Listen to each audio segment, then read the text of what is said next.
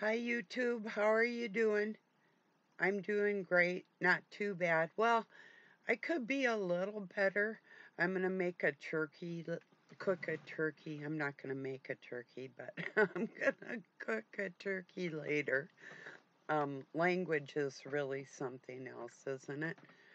Um, over on my Facebook, I shared a couple memes about masturbation. I thought was humorous. Let me pull them up so I can um, tell you exactly what they were. I'm going to talk about just the words and the meanings of, uh, give you a little bit of insight on what I believe about it and medical science says about it. Anyway, let's see. Maybe I didn't share it. Let's see. I might have. Well, one I did share. No man is free who is a slave to the flesh, which is very true no matter what. Ah, Sun Tzu said, Many will beat their meat, though few, few will truly defeat it.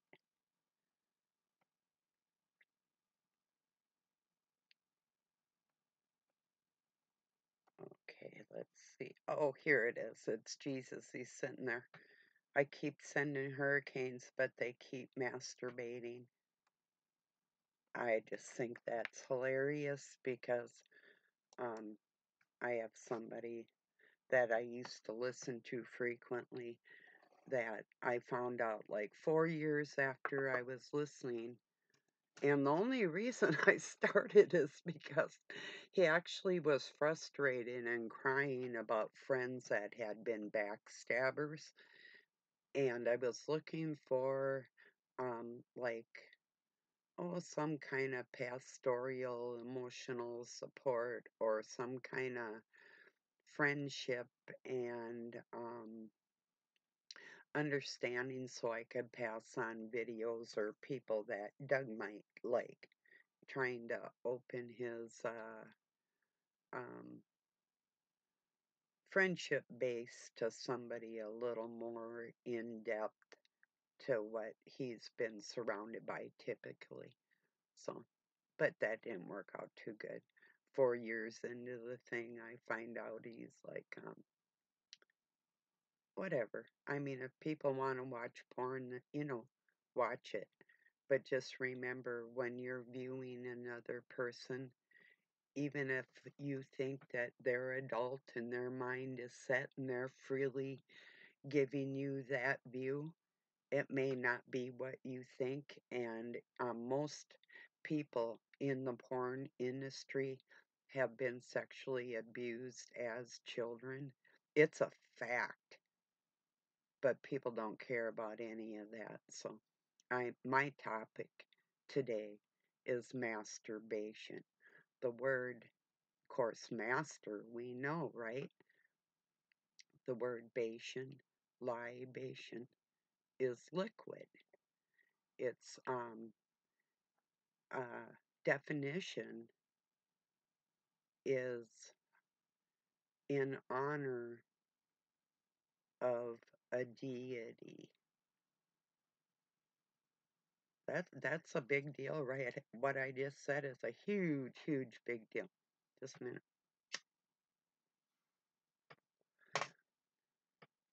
Who are you honoring with your fluids? you know. Huh? Um, also, there are negative effects such as uh, emotional effects and um, procreation problems with misuse of that. So, oops, want to say hello? Oh, that's his name. I sent Constantine a uh, video I just sent you, but they won't let. I put a message on it. They won't let me message anybody. Okay, I'll I'll look him Hi, up and banned old Doug here. They banned me for life yeah on fa- again. on Facebook. Again. Yeah. I'm gonna contact a friend of ours that's having trouble. Well, Doug can't can't um, contact him through Facebook, and they used to talk like every day, um, just about. He's the guy is a attorney over in Russia. He's not, or wait, he's a lawyer. He doesn't like being called, or wait, no, the other way around, one or the other. In in his country, there's okay, I think it's attorneys work for the state and lawyers work independently. I think I got that right. So he's independent. So in other words, like most these jokers in my country, whether you call them attorneys or lawyers or scum of the earth, are going to pick up any case and try and win it, whether somebody's righteous or not, you know. So, anyway. So, back to that libation in the liquid in the deity that you serve, I'm typically referring to as wine being poured out or, um, you know, that type of thing. But that type of language is actually used in ceremonies concerning children in most major religions, and people don't really understand um, the Eucharist that they partake in when you eat the body and the blood. You know, they don't. They think they do, but they don't. They they don't have a clue how close sexuality, which is a part of all our personal makeup, is a part of major religions. The priests, the pastors, the rabbi, they all know. You damn right they do. Why else do you think that um, rabbi are talking about uh, dark magic and the Kabbalah, the Kybalion, and your uh, chakras and all the rest of that, unless you learn how to master things for yourself, you know? Yeah. So, anyway, I mean, all I can do is give people the information that it actually takes away from you, especially if it's misplaced sexuality, like through lust or um, whatever. So, yeah, just trying to pass on true information to people and the meaning of things so you totally understand what you're doing. But when somebody tells me that they're uh, uh, have faith in God and then are going to teach uh, there's nothing wrong with pornography to the next generation, you lost me in a big way. Because some of us realize the pains and sorrows we've been through in our life, um, if not with by us, by other people that we've been involved with. And we know what's up. So if people are ignorant or ignoring that fact for their own gains, there's really nothing you can do about it. You can just tell them the way things are. You know, you have a safe harbor. Yeah, you do. That's uh, the Most High Spirit taking care of your innocent heart while you're in a fleshy situation, you know, knowing who you are inside and not being a part of the world like that. There's nothing wrong with loving the world. If you don't love the world, you really don't have uh, say so in it. I'm talking the human family, not the trees and the rocks and you know, which is cool. Love that too, but I'm talking about people, the world, you know. But how are you loving on them? you know? I had to say that because years ago there was a guy who, uh, oh, was said to be the head gang stalking Luciferian in the United States, which wasn't true, of course, because I know where I live. But, you know, uh, anyway, this Joker was uh, saying things like loving on his dog. The, the words just didn't sound good to me. I took a look at my little dog at the time I thought, well, I love you and I pet you, but I don't love on you.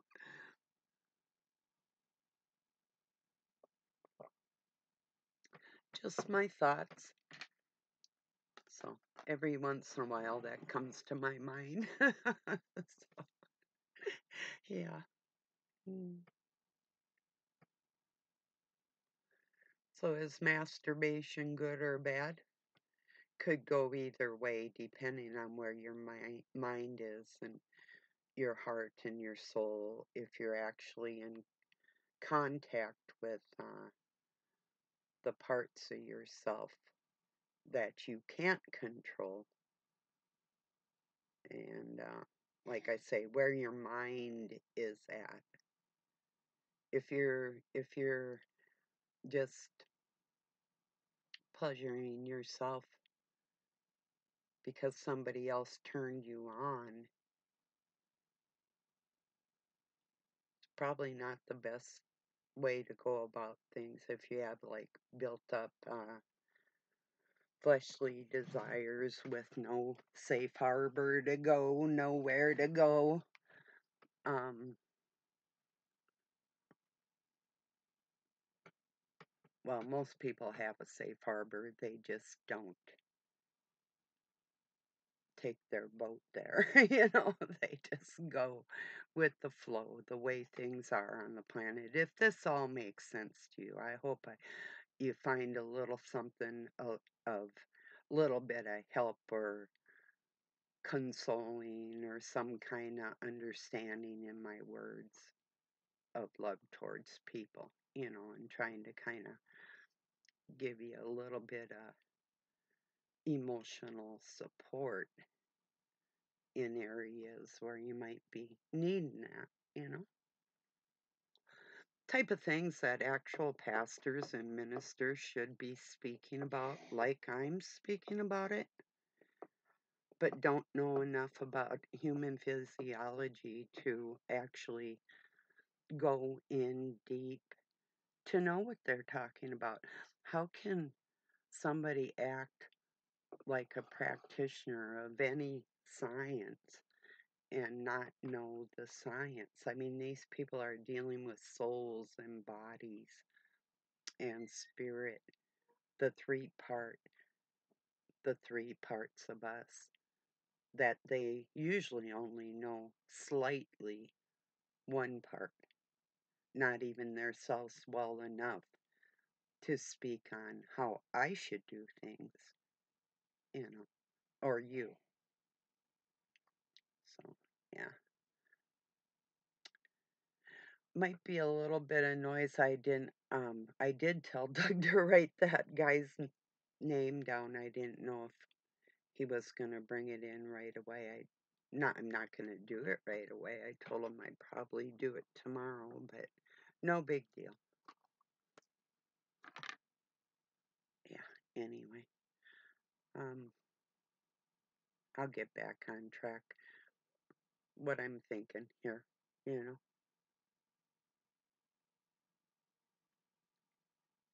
isn't the fact of the masturbation or the porn, it's the passing it on in the human family like it isn't harmful because it certainly can be. And we all know if you've had children that it can become a problem. Or if you have a spouse that has is problematic with uh, watching porn or something, I know families that have been destroyed by it. I mean, for me personally, I'm not going to let somebody touch me that got turned on by somebody else. But that's my integrity. I can't speak on somebody else's, but I do know that you will lack that integrity if you listen to somebody else who's teaching you that you aren't going to lose a part of that by doing it. You know, it's decisions we make. You know, do you have any self control? And at times when you don't, where do you go with that? You know, spiritually. Is spirit involved at all in that situation? You know? I'm not talking nudity's wrong. You know, I'm not talking about the wrongs or the rights of the situation. I'm talking about the woes of the situation and what it does to us mentally and physically. Our physiol odd odd okay, one more try. Our physiology mixed with the spirit within ourselves does what we do to our bodies does things to us, our physical self and our spiritual self. Period. And when you have uh, people teaching that that isn't a fact, they are lying to you for their own pleasure. oh my goodness. You know? Okay, would I have the right to get mad at a man if, um, say, he came to my house and he was turned on or whatever physically? Yeah, I'll tell you why. Because when I walk into a room, I sort of cross my arms. I don't like go shaking my stuff all over the place. And if somebody's looking at me the wrong way, that's on them. And I ne- I don't dress revealing to attract that type of attention. So if somebody goes there, you just went the wrong place. And don't blame me, you know? And I brought it to people's attentions too, and then they try and back out of it, and they're already lying to themselves and everybody else. That's how brutal I am with this. I don't play at all, you know? Now, if I called you to myself, eh, we both would be stupid, you know? So there's going to be a little bit of noise from the pump in a minute here, so I think, pretty sure. But we'll just wait. It takes about a minute for it to shut off when it gets the water pressure builds up.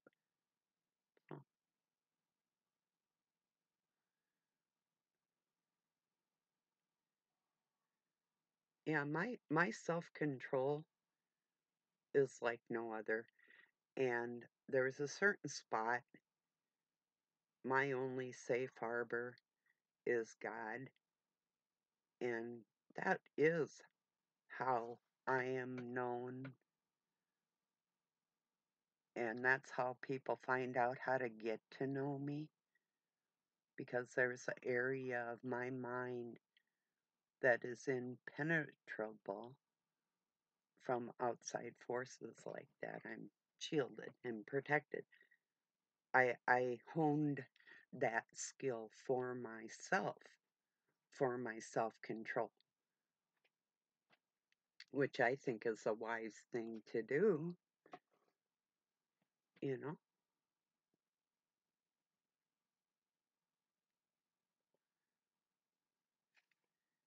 I think people are, especially when they're married, they're just flat out cheating on each other if they're watching porn together. You know, it's just the way it is.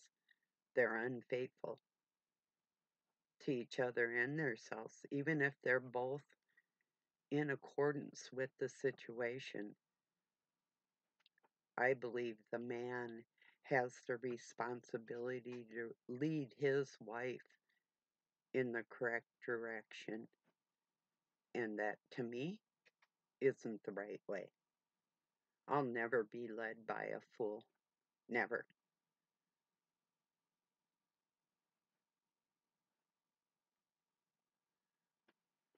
More than an opinion. Life experience.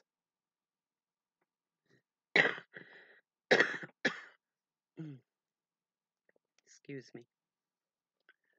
So, any thoughts on what I'm talking about? I don't care if you think I'm right or wrong. I know. I know what's up with people. I know the minds of humans and their hearts well enough to be able to speak on what I'm putting down. And if somebody can't pick it up and know that it's of value, eh, oh well. Next time, buddy, try, try again, you know.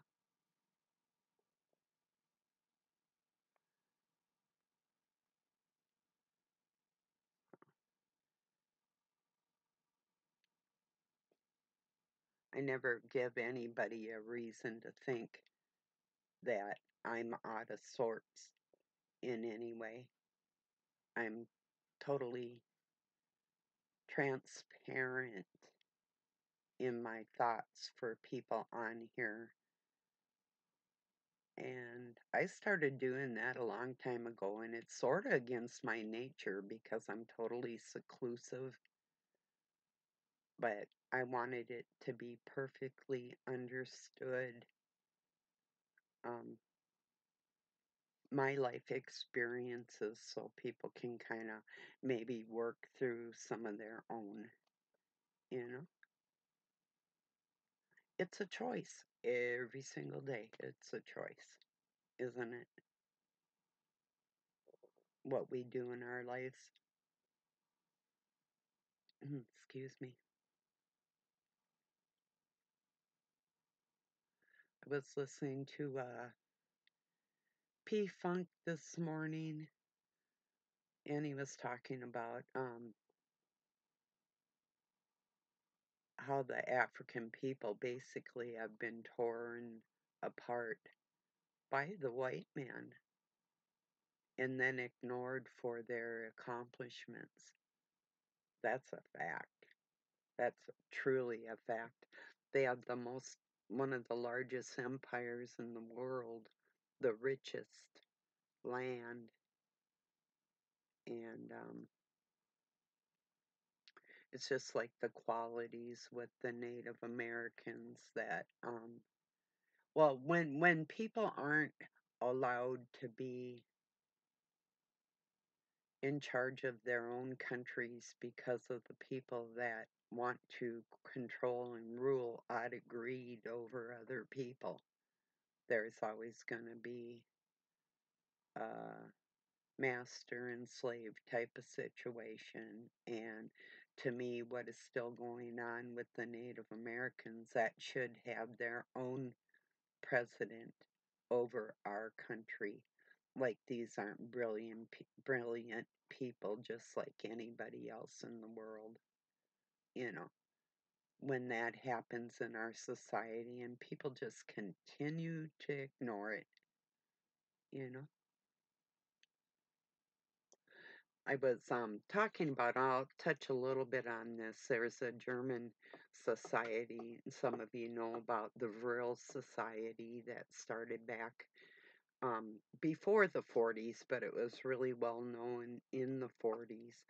Said to have moved to Antarctica w- with the Nazi party and all that was the breeding of um, blonde haired, blue eyes that they um, cherish more than they do other people. And you're going to see this through societies of um, controllers. And the reason for this is the first start of the Dark Cabal was from a family that we'll just call the Khazarians or the Canaanites that ended up mostly um, described as Jews, but really hiding deep in the Slavic nations and even way up into uh, Norway and the Chinese are connected. And what this society does, it's not only the witchcraft and the dark cabal, but what they do is their breeding within their family was to keep, and what they did was to breed. The, the light came out of the dark in the flesh and in the ethereal. Um, and it's it's a fact. And I'm not saying that the black was bad. That isn't what it was. This is I'm talking about one entity that was represented with dark skin and then bred himself out of the darkness into the Slavic and Germanic bloodlines that are, or even Russian, which is considered, or Siberia, like the upper steppe when people came out of Egypt and um, in their migration. And what they did intentionally to hide the coloring of their skin and their family bloodline that is still considered the dark cabal to this day and that's who those people are and why they did that. The aryan race why is it so important to them? That's why. And every other person of color is in danger even even if you're pure white with blue eyes or whatever and they they tell you you're more prized yeah for what? You know? Breeding perhaps? So what i'm telling you is all very true and it's still going on to this day and that's why people of color are in danger like that because uh, they think they're going to incarnate again, keeping it in the Caucasian situation, and they don't want any throwbacks. That's why it was spoke about in the scriptures of how, like, um, I can't remember which was it, um, Rachel or one of one of the women in the Bible had a maybe it was Naomi No, I don't know. One of the women in the Bible, I can't remember right now, had a child that I think it was Noah. That wasn't the color of the other people in the family. They talk about it, but there's more documentation on it from what I'm trying to tell you is uh, a, it started a long time ago. And that's why it started so they could hide. Then you end up with somebody like jacob rothschild totally white blue-eyed but came from a dark skinned people originally. You know? Say it just like back in egyptian days you had ones that were considered not so good deities and ones that were considered decent, you know?